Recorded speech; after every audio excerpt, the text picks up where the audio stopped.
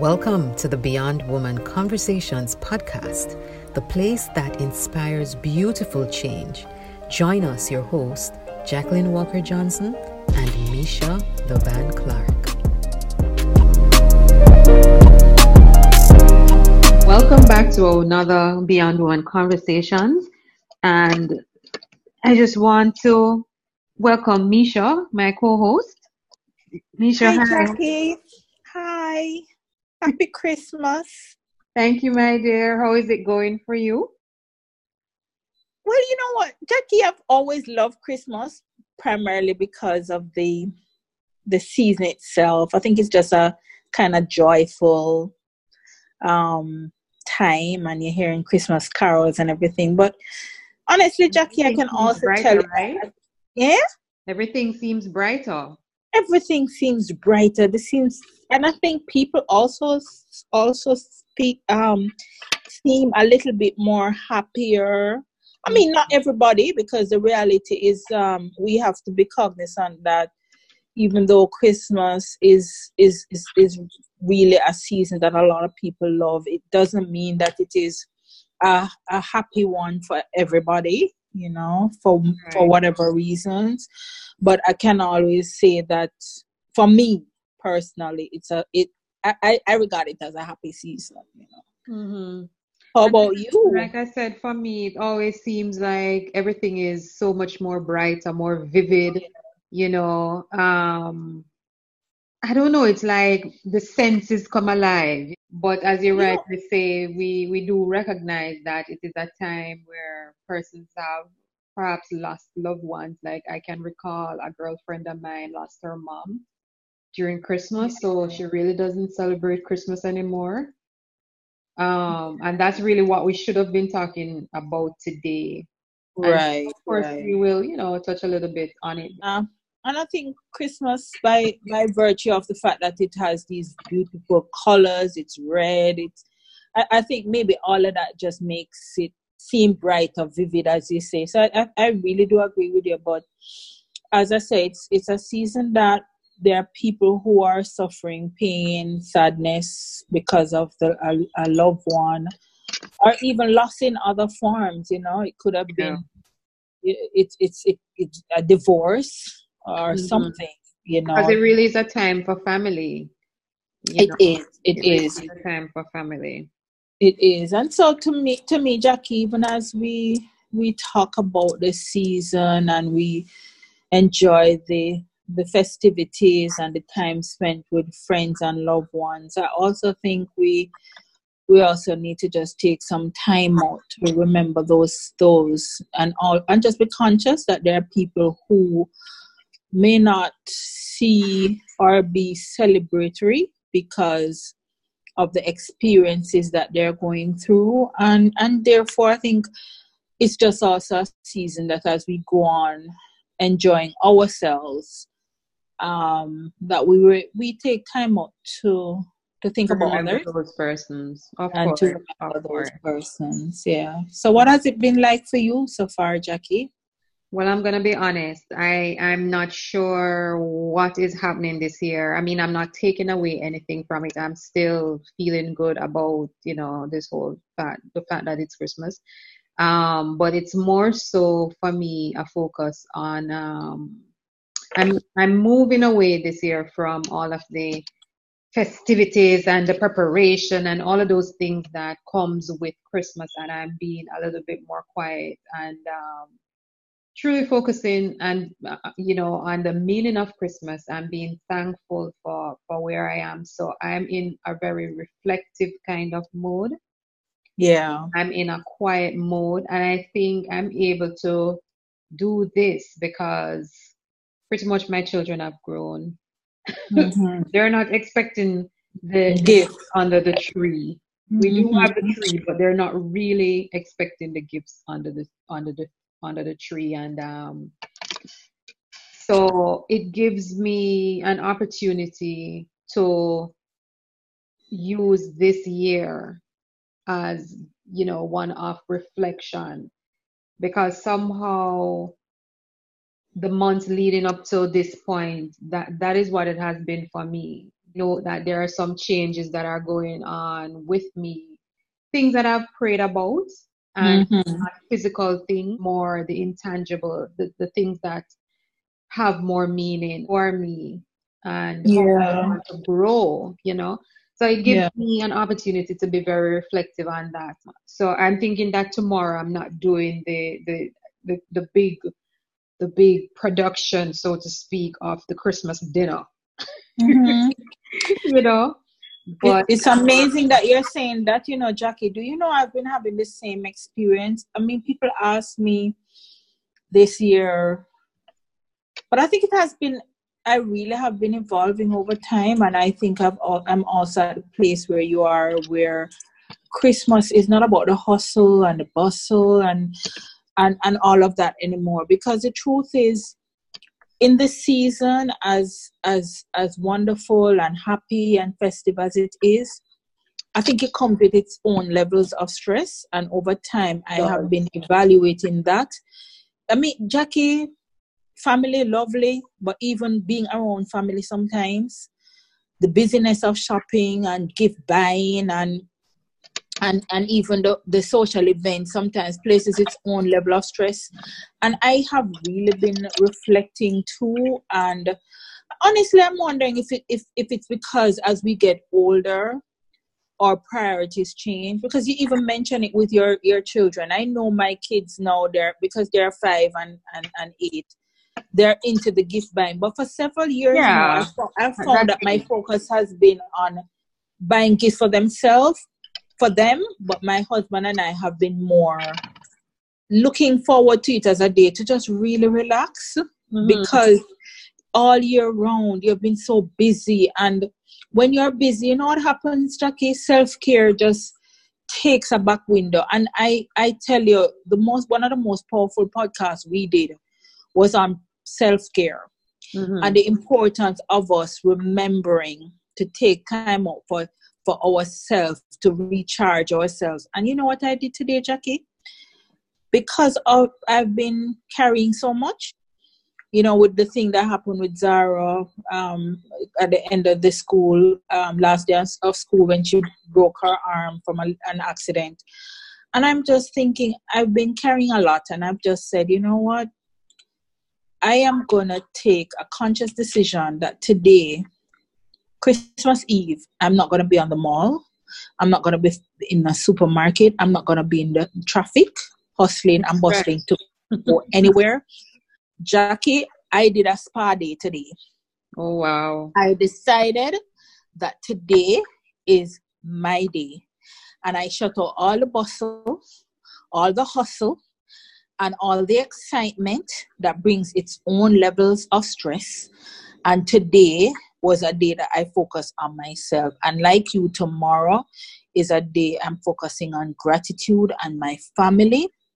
Not the first, not the excitement. It will be a quiet day with dinner and it will really be low keyed because for me, Jackie, it is just I want to go into the the new year and and i'm exactly where you are my friend mm-hmm. just reflecting on life reflecting on the year that has um the months that have passed mm-hmm. another year is drawing to a close mm-hmm. what do i have to be thankful for reflecting on the things that i would like to change and the difference that i'd like to make and and just kind of make, make just just write down some key points um, in terms of what would I like God to do uh, in my life and through me, because I think we we I continue to say our lives really don't mean anything if it is not being lived um, for others. You know, our greatest value isn't about our fame or amount of money we have or or how much that we possess but the, our greatest legacy is really in how we we we impact other people you know? What do we yeah, do for other people? others yeah that's so true. Yeah how we serve other people and and that's what i want you know? I just want to be able to continue to find ways in which uh, how I can make a positive difference in other people like people's life life So that's what really it is that I'm doing, you know. You know, today I was driving and reflected on the fact that we're beginning a new decade. Of course, you know, that word is out and everybody is aware. And you touched on something just now in terms of how is it that we're entering into the new decade, not just the new year 2020, but the new decade. And as I looked back on the past 10 years, I realized that 10 years is a lot of time. You yes, know, 10 years ago, I was just into my own home. I was in a very stable. I think that's where we met. I was in the investment. Yes. Where we right. Met. Very much so. Um, and I'm just thinking that a lot of people might think that time is moving quickly, and it is. But at the same mm-hmm. time, a decade is a lot of time for us to take charge over our circumstances, over our situations, and and you know just begin to really truly when you think about it, you know, Christmas and the spending, and sometimes we, honestly, sometimes we really don't have what we're spending, and we go into the new year and and we're strapped. Very good point, Jackie. You know, and I don't think that's how I want to start a new decade. We are entering the new decade uh, in control, you know, mm-hmm. and like I said, it really is a lot of time, a lot of time for us to you know, get our act together. And they've, I remember I used to, I used to do a session with a prophet, and he would say, Christians, you know, they're wishing and a hoping and wishing and a hoping. And we need to stop doing that. We need to yeah. enter the new decade and have it under control and know what it is that we are to do and what we're we're hoping to accomplish. I just want to you can you can interject Misha, but I yeah. like at this point I just want to share a few things that the first thing that we'll do is really acknowledge the fact that we have some kind of control the experiences um, or how we react to experiences right and yes. everything starts with us acknowledging the fact that we do have some kind of control comes when we plan. Yeah, it, so might, it might seem like a cliche, but mm-hmm. it's what we need to do. You know, I look, I remember I was having a talk with um, a company once, and I was right. I was using the analogy of the company itself, a very profitable company. Yes. And, I mean, how is it that they make profit? They make profit because they plan. Yes. Year by year. And let me tell you something if you, as a team member or employee, if you're not pulling your weight, because you know they do some quarterly review and all of that. Correct, correct. Weight, you have to find a way, or you're out. So yeah, so I, ended, I, I know I ended a part of that um, conversation asking the question why is it that we don't do what they do. it's not no different, you know. And, and, do it as personal planning. And I think, you know, our last podcast was about Jackie, um, vision board versus value board. And the question is, what will you be doing? How will you start the new year? Putting, by putting your thoughts on paper, you are you're actually setting out a plan what is I it that I want to do? Uh, you know what? I think people, and I think I struggled with it for a, a, a very long time too. Yeah. I think we take for granted the, the, writing down part of it. You know, we yeah. just want to wing it, and it really yes. doesn't work. It doesn't yes. work when we wing it. We really have to doesn't Do- doesn't because you know as we were discussing the last time, what we were saying is that once you once you do a vision board or whatever it is that you want to call it you know it doesn't have to be um it may not even be you don't you may not even define it as a vision board. But i remember what we were saying jackie is that and sharing was that the truth is that is what you what you what what you're putting on paper as like your your vision your vision for your life um ahead and, your and then after that now you are presenting that if if you're somebody who is a who is who is um god fearing then you know you're committing that to god and you're also saying look you're also committing it to yourself because you're actually sent, saying to yourself, okay, this is what I want to do in 20, um, 2020. And the truth is, you may not achieve everything because, I, as I had shared, I have not accomplished everything on my um, vision board. But the truth is, it had helped to to get allow me to create that kind of visual image of what it is that I want, exactly. wanted, and then it it then helped to move me towards and, having, and, having put the having put the plan on paper, Jackie. Yeah, it's your blueprint to move forward. Your blueprint. That is that is the word. It then enables you to then say, and then and then you have that. You have that somewhere that you can continue to to be motivated to do you know exactly. and so you're right you know it's about forward planning and we need and to really stop taking for granted this writing down it's it's a yeah. serious thing and it might seem like i said before a cliche you know it's really goal setting you know jackie it's goal setting just yeah. Exactly what you said a company does it and we also need to do it for our own life because yes. if you're employed to the company you're it's mandatory yeah. If you're doing it yeah. for the company, at the end of the day, right. the company makes the money and and you know, you would have contributed to that. So we have to do it for ourselves and we have to commit to that. We have to make the decision and we have to commit to doing it.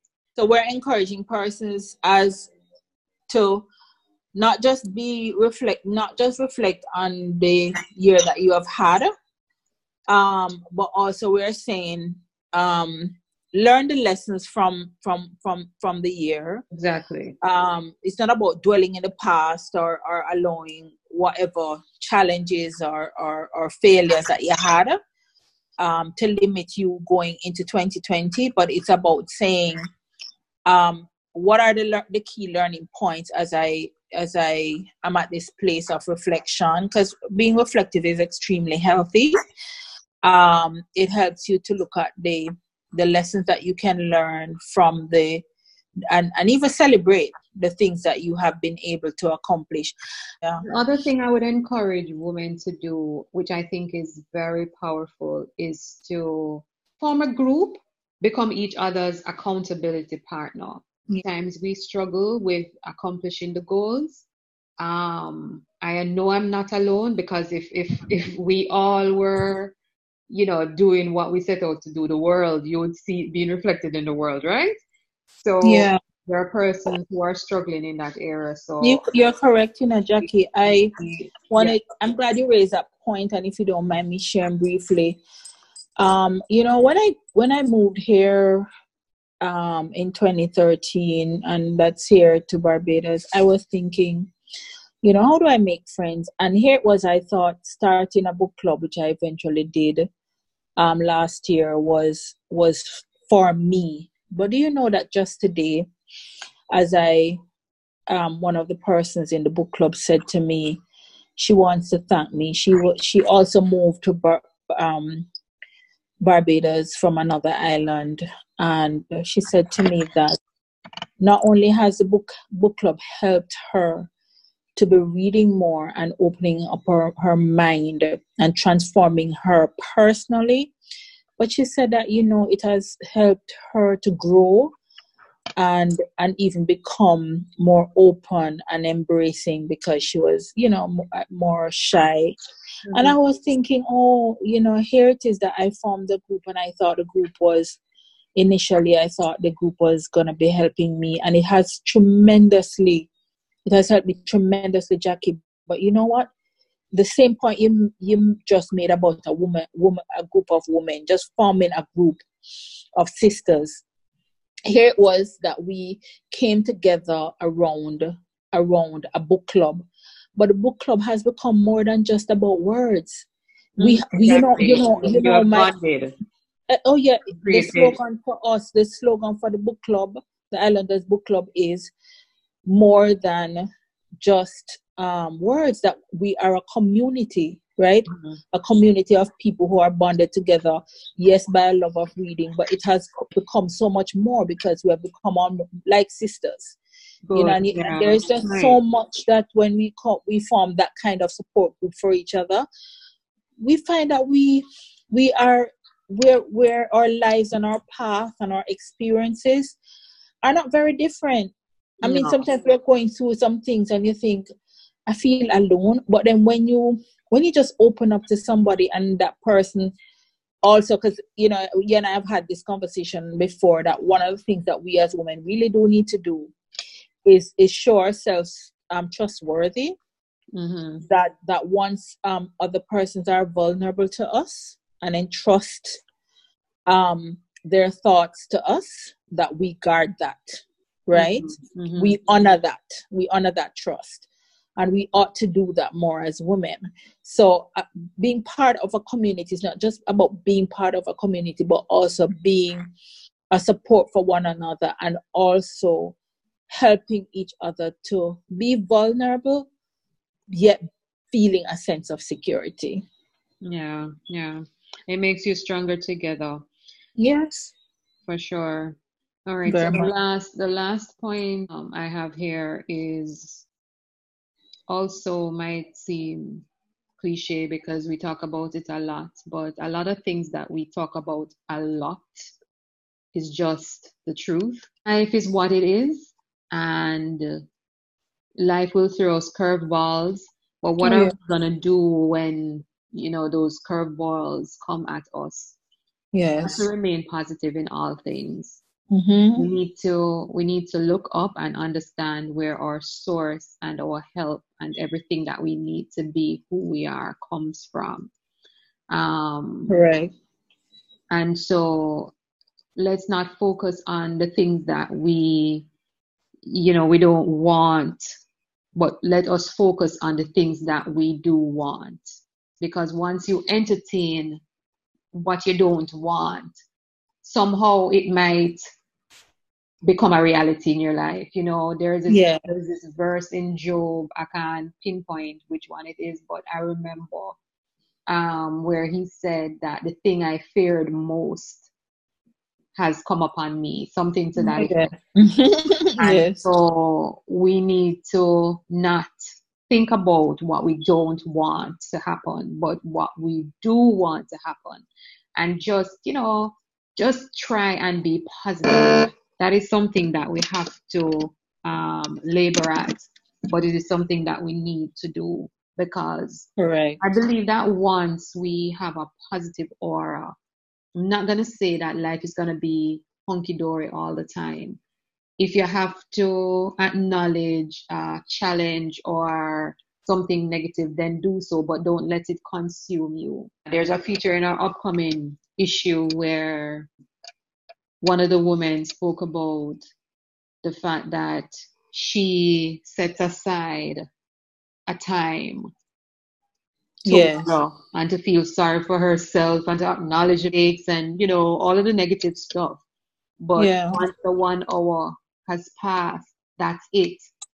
You pick up the pieces and you move right along. Correct, correct, and correct. that is how the Beyond Woman would want all women to enter 2020. Whatever we put out is what's going to come back to us. Correct, correct. I always say that.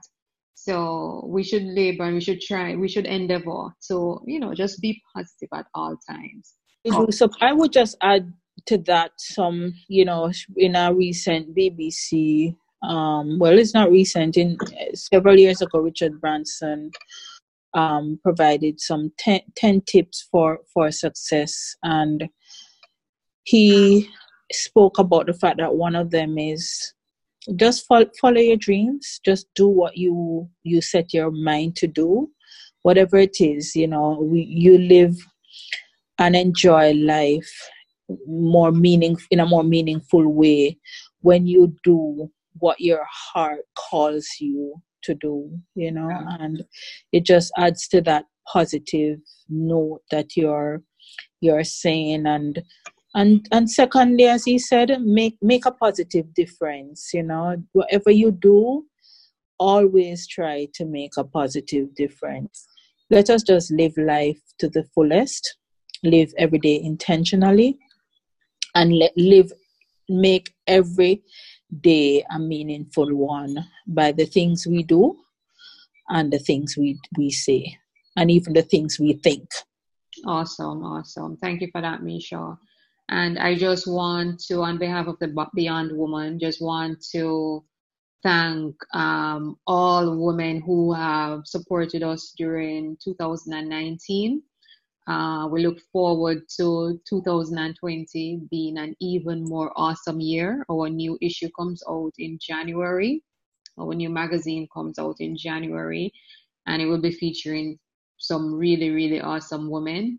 Um, and we crave you know, your continued support and to to to all aspects of the platform, the conversations, the magazine, the collection, just all aspects of the the Beyond Woman, and um, we just look forward to continue serving you.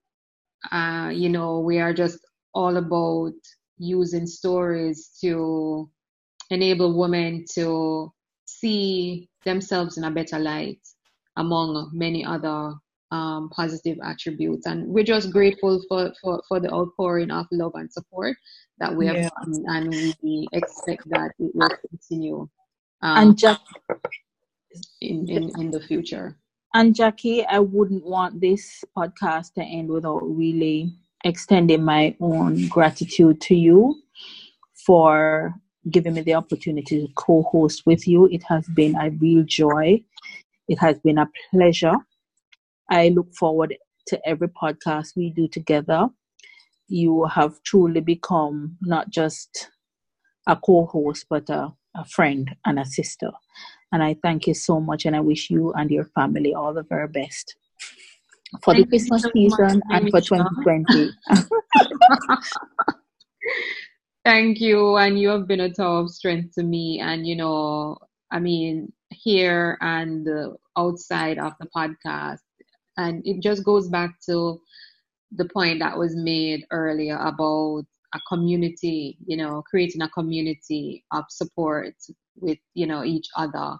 Because when we come together, we are so much stronger, you know, and when and when we have a safe space where we can be ourselves and know that you know we're going to be loved irrespective it's a wonderful thing and it's a thing that allows us to flourish and be even better than who you know mm-hmm. we, we ever thought that we could be you know and um as i say that i i can't help but give thanks to the almighty because you know he has given all of us this platform to share and I am just totally amazed at how far it has come, the yes. support that he it, that has come from him. Yes, I cannot begin to talk about that, but we'll probably do that in another podcast. But yes. I give all thanks to the Almighty because without Him, I always say I am nothing um, with, without Him, but I'm everything with Him. Well said. For persons who don't know, we are founded in Ephesians 3 and 20, which tells us that um, God can do exceedingly and abundantly above and beyond anything that we could ever hope or imagine for ourselves. And truly, that is where we want our women to dwell. We want our women to do, dwell in the beyond, and that's wonderful. Where the beyond woman comes from. So, Misha, thank you so much, and you two have a really peaceful and um, loving and everything that you would want for yourself and your family tomorrow. And thank you, Jackie and Misha. Thank Have you. a wonderful one, and thanks to our listeners. Thank you.